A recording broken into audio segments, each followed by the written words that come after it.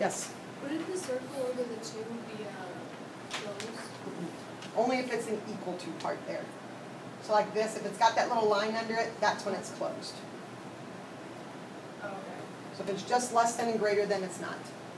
On your ors, can they go in? They're not gonna go one way either. All your ors are gonna be split. Every one. Yeah. Yes?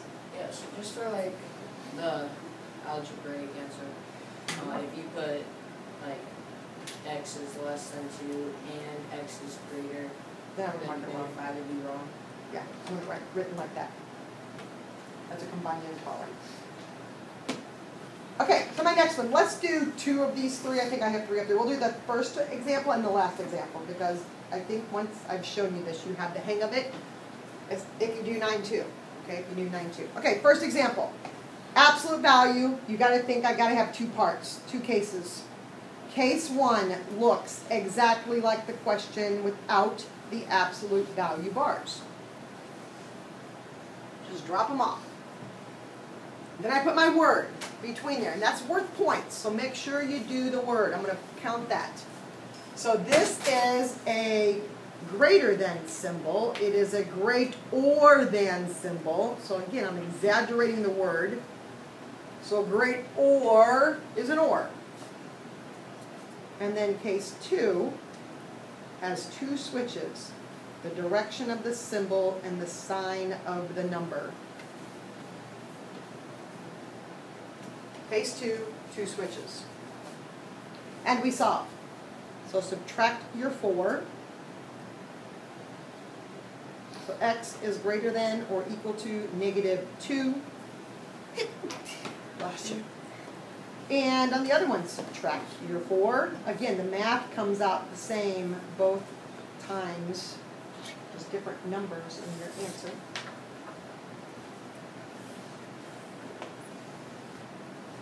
So for my helper graphs, whether you want to do them or not is up to you. But do know that negative 6 is smaller than negative 2.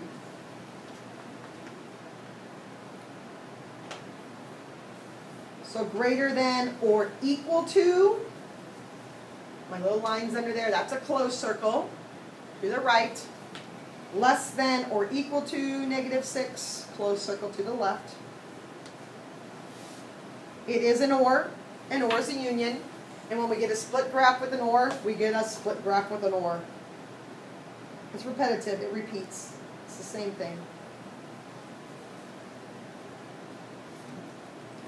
And algebraically, it's just the two inequalities that you get with the word or between them. So I'm not changing anything that you did on your assessment today. It's one new step in front of all the other ones. Start the question. Okay, let's go to the last one.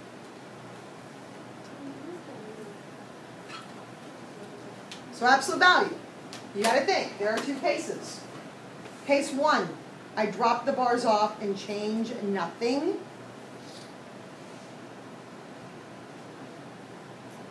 I look at my symbol and decide what word I'm going to write between the two cases. This is a greater than, great or than.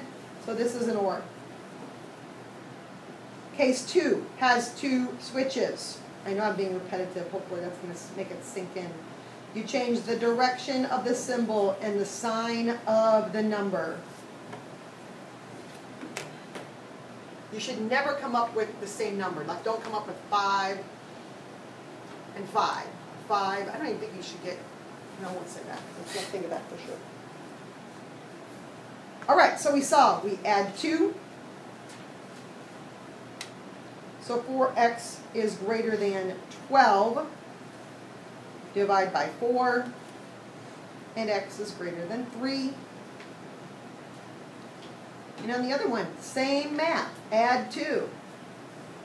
4x is less than negative 8 and divide 4, and x is less than negative 2.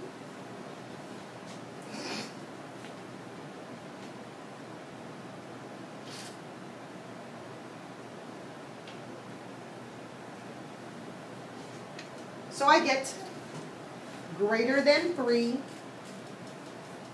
and less than negative two. And because it's an or, or is a union, and when I get a split graph, I'm gonna get a split graph. And that's the only kind you're gonna get.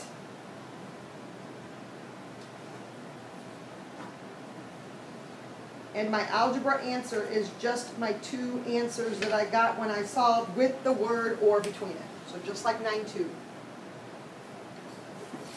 Nine two is harder than nine three.